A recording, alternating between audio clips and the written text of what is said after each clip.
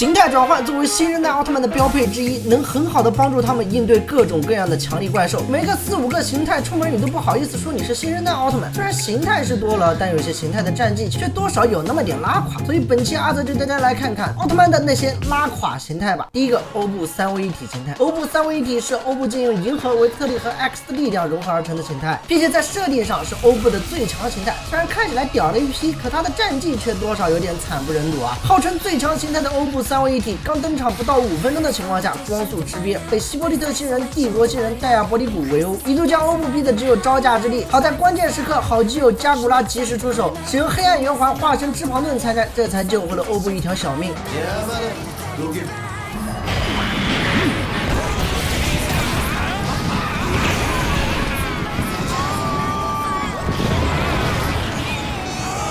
加古拉退场之后，欧布三位一体再次陷入劣势。好在三位前辈复活并加入战局，形成了四 v 四的局面。虽然人数上是没啥劣势了，但这一点也不影响欧布三位一体吃瘪，依然被对面按在地上摩擦。好在那个男人及时出手，这才挽救了战局。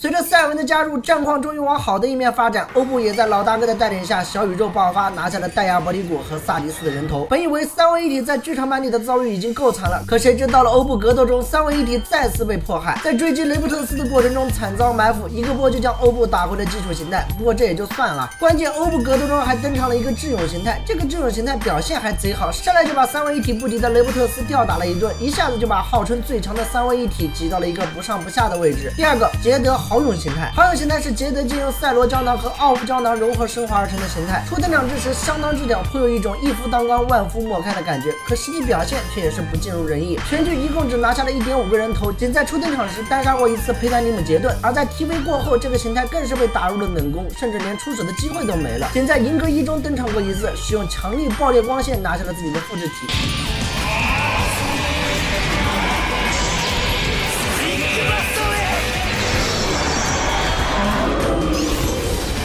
是捷德最惨的形态，想必大家也没什么意见吧？第三个尊皇形态，尊皇形态是捷德借用奥王胶囊和贝利亚胶囊融合升华而成的形态。单纯从融合素材来看，尊皇形态可谓是强到没边了。一个是奥特曼天花板之一的奥王，另一个则是实力强悍的贝利亚。作为新生代唯一一个借了奥王力量的男人，捷德尊皇的实力至少得是天花板级别才对。可事实恰恰相反，不光实力比较有限，人家甚至都不是捷德的最强形态。在 TV 时期，尊皇的表现也只能算是中规中矩。虽然击败了不少强力怪兽，但也有被辅警出 K 偷袭导致吃瘪的情况发生。到了剧场版里，尊皇现在更是化身莽夫，直接上去开揍，可不料连肉搏的机会都没有，就被加拉特隆打成了分子状态。在此之后，尊皇形态更是开启了漫漫吃瘪路，比如在罗布剧场版中被托雷基亚戏耍，在银河一中被奥特黑暗杀手吊锤等等，可以说是难求一胜了。第四个，闪耀永恒特利迦，闪特是特利迦使用永恒核心碎片的力量变身而成的形态，看起来就屌了一批，甚至连计时器都比一般的奥特曼多两个。不过闪特的表现依然不能算是亮眼，初登场时因为控制不了永恒核心的力量，从而不能发挥出百分之百的实力。结果没过几节和利布特跳了个舞，就莫名其妙的能控制了。可即便如此，闪特的表现依然不算出色。一来是特利迦的 TV 高强度的战斗，其中低于四十八小时就是最好的写照；二来是基因怪太多，像什么灭亡奥加、灭亡大蛇什么的，都只是单元剧登场的小怪而已。种种原因的加持之下，导致闪特的表现看上去十分拉垮。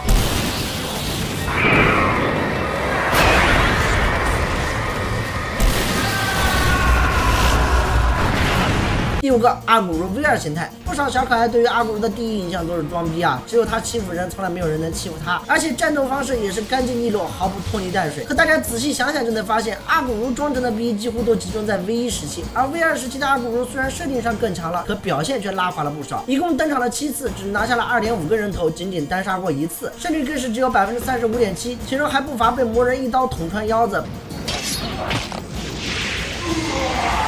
被布利兹布罗兹三十秒速通等高光操作。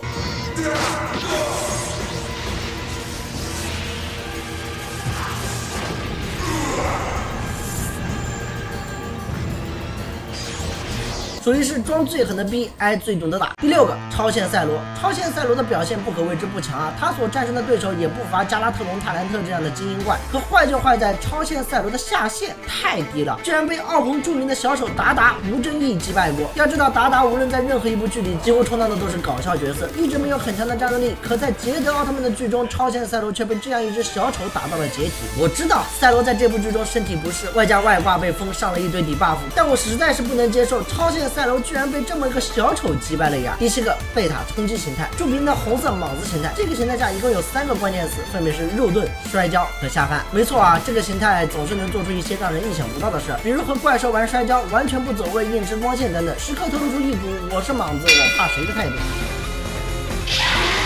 与之对应的战绩也比较拉垮，经常使用此形态和怪兽肉搏摔跤，结果摔着摔着发现打不过了，然后立马切换到别的形态收人头。阿泽要是没记错的话，这个形态在纯一 v 一的情况下，仅仅凭借新手保护期拿下过一次人头，战绩方面确实有点不尽如人意啊。第八个，奇美拉贝罗斯，看到这儿估计有小可爱要说了，奇美拉贝罗斯不是怪兽吗？怎么算到奥特曼的形态里面呢？贝也，贝利亚虽然黑化了，但人家是正儿八经的奥特曼，没毛病吧？而奇美拉贝罗斯从某种意义上来说，勉强也能算是贝利亚的形态吧，所以它能出现在这个榜单上，很合情合理。吧，咱们言归正传啊，奇美拉贝罗斯是贝利亚借用五帝王和佐格的胶囊融合升华而成的形态，外表看起来多多少少有点像家里刚拆迁的暴发户，直接从之前的驼背变成了患有脂肪肝的肥宅形象。其实从设计图我们不难发现啊，奇美拉贝罗斯的形象还是相当霸气的。不过不知道是出了什么差错，导致实际呈现的效果跟肥宅没啥区别。除了长相之外，奇美拉贝罗斯的表现也不咋地。十六级初登场时牺牲完杰德就跑了，到了十七级的时候却被好大儿各种形态吊打，自己的大儿不帮自己也就算了，居然还。获得了奥王的认可，解锁了尊皇形态。在这一通精神和肉体的双重折磨下，奇美拉贝罗斯还没怎么表现，就饮恨西北了。